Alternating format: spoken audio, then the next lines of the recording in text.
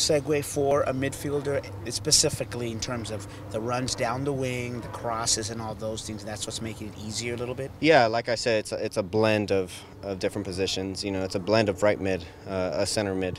Uh, you know, it's it's it's it's easier for me to to just transition over to right back because I've played those positions. Uh, you're on the ball quite a bit. You know, they especially on this team, you rely on the right backs and the left backs quite a bit.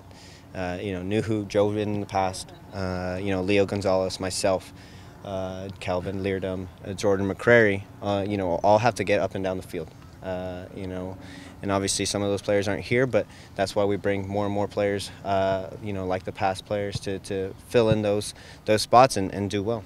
But yeah. but yes, uh, sorry. Uh, to answer your question, yes, it's a it's a different a different position nowadays, and uh, you know it's it's usually one of the fitter guys that, that runs up and down the field and is pretty technical on the ball.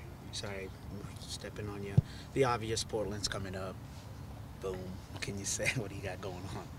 Oh well, there's there's a lot at stake. Uh, we've said that for the for the last couple weeks, but you know there's uh, much more, much more at stake uh, this week. Uh, being, we're, we're playing a rival. Uh, we're, we're playing a rival that uh, is coming off some good results. Uh, that want to keep momentum, their momentum going, and and for us, we want to crush that. We want to, you know, be part of a winning squad again, and and what better game to do that than than against Portland? Do you believe that I mean, it's the beginning of the week, but the intensity and, and, and the, the, want to, to beat Portland is going to begin to grow and within the team to that point? Yeah, I mean, I think it's it's uh, Tuesday today, uh, and and you know it started off on the day days off. You know, you see you see advertisements and and you get a little bit animated for games, uh, but you know, in terms of all the players, you know, obviously we're not going to kick each other in practice, but we're gonna play in practice like like if it's a if it's a real game. Uh, we have so much so much to lose at this point. Um, you know, we we are at the you know bottom of the table, and and if we continue to lose, then then you know Portland can just laugh at us. So we, we have to continue to, to, to fight together as a team and uh, realize that, that it's survival mode. We, get, we, ha we have to win games, and, and in order to do that, you got to play these big teams and, and, and beat them out. Do you think having gone through a season in 2016 where you guys were in a hole and had to dig out of it, having gone through that relatively recently, do you think that helps at all, like mentality wise, with the situation you're in this year?